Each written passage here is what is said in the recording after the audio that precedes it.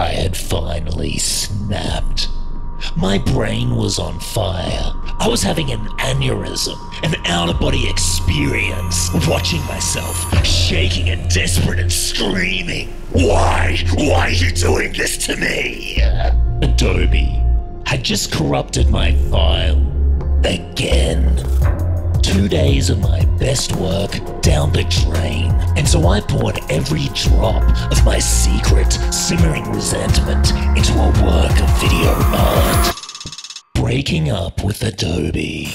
It was viewed six million times across the internet. It resonated. People were tired of their own codependent relationships with their once beloved software. And yet there I was, still crawling back like a schmuck, night after night, hoping this time would be different. But then one night I watched a tutorial on DaVinci Resolve and something changed in me. I dared to dream. So I built up the courage, packed my bags, and said, Listen up, Toots. You and me, we're done. I'm making this next project without you. This was a terrible idea. See, I got decades of experience with Adobe software, and now I was stuck rebuilding my VFX pipeline from scratch. Everything was annoying, and I kept getting stuck on the most basic stuff. I felt difference from using After Effects is that DaVinci Resolve uses a system known as node compositing. The video signal is loaded from the initial node that flow into other nodes which distort and filter the signal. You can split the signal into multiple streams, alter them, and then recombine them before it all flows into the final output composite.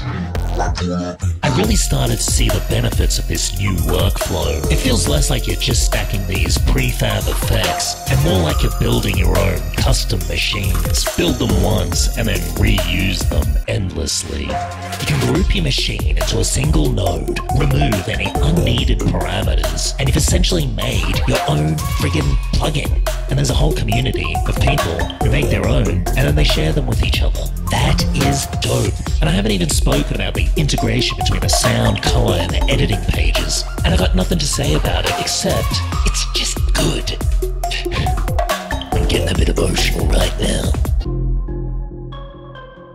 Another big component of my work is the sound design, and while Resolve's built-in DAW is probably capable for most people's video editing needs, I'll show you what I use to get just that little bit of extra pizzazz. Reaper, created by the guy that did Winamp, it reminds me of a time when companies used to take pride in their software. It's homely, and I know it doesn't look like much at first, but when you get a little more acquainted, no, baby. It's extremely customizable. All of these context-aware cursor tools can be changed.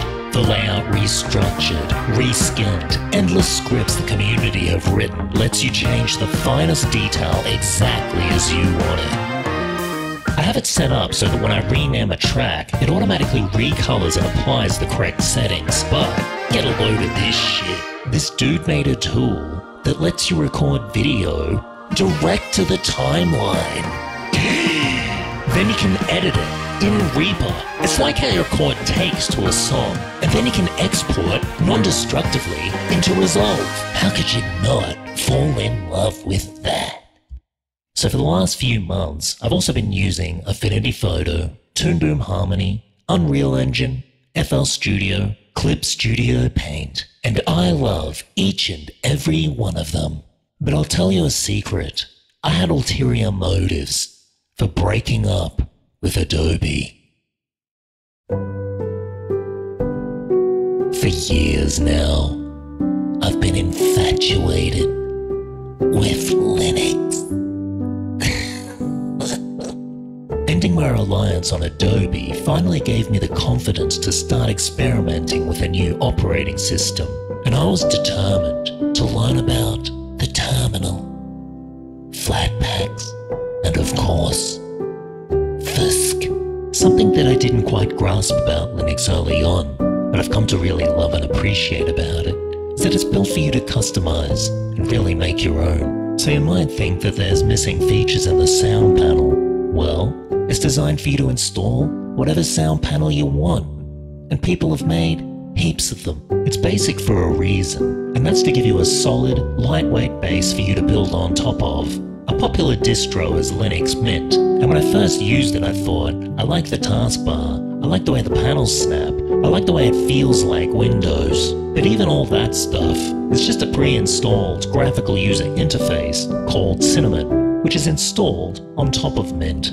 You can change it to something else. You can make it feel like Mac OS, or have no user interface, or some interface that looks like something that you've never even seen before. And it feels so snappy. Why is it so slow on Windows to load a folder full of WAV files? And why does file search still suck? I used it on my friend's Mac OS, and it was instant. That was 20 fucking years ago. I love that Linux isn't giving me recommendations or pop ups or trying to steal my shit. It just leaves me alone. And don't get me wrong, there's still a lot of headaches, and getting everything up and running is not exactly a wank in the park. But you know, a few years ago, you couldn't even run games on Linux. Now most of them run fine. It's just such a good time to jump on board, and things are getting more compatible as time goes on. Thanks, Gabe. But the thing I like most about Linux is that despite the headaches trying to get everything to run, there's a real sense of passion and optimism in the community. It feels like technology made by humans for humans brings a freaking tear to my eye. It reminds me of when I was just first getting into computers and all the things you could learn. Made me realize how much I've missed that sense of passion and optimism about tinkering around with technology. Yeah. I'd really recommend just installing Linux Mint to a USB stick, running it off that if you want to try it out. Don't worry, Omi. You won't break anything. So everybody's been dunking on Adobe and Microsoft lately. I think that both companies have become a symbol of just the general hatred that we all have towards big tech. But clearly for them, they don't give a shit how much we hate them. It's about whether you decide to leave. A lot of people would like to make a switch, but it can be pretty hard. I get it. It costs time, energy, lost revenue, and they don't make it easy for you to just pack up and bail. It's simply much more convenient to stay with them. But I've got a little public service announcement about the true cost of staying in your convenient big tech relationship. The technologies we use become an extension of us, interwoven into our workflows, industry, infrastructure, and meshed with the fabric of our culture and society. It's how we spend our time and interface with reality. There is a brazen, perverse business culture permeating big tech that's not to deliver a quality product or solution, but to soothe, trap, and coerce you, to make you reliant, addicted, and dependent. Then they lobby, change the political landscape to their favor to capitalize on the problems that they've fermented. The world is spiraling at the whims of a perpetual motion profit machine, a sick competition of power-hungry addicts out to brainwash you, drain your blood, then smash your molecules into shareholder profit. Brace yourselves! Truth bomb incoming! It's up to you now stand up and do something about it. Take action now. Value your privacy. Find ethical alternatives built by people who are not out to fuck you over. Because taking back control of our tools is one defense against the system they're assembling. The oligarchs of big tech are descending on you, cementing their monopolies and locking that shit in. We have this window to act while we can, because the stakes aren't just about a banal feature or a subscription payment. It's about preserving a relationship with technology that's made for us.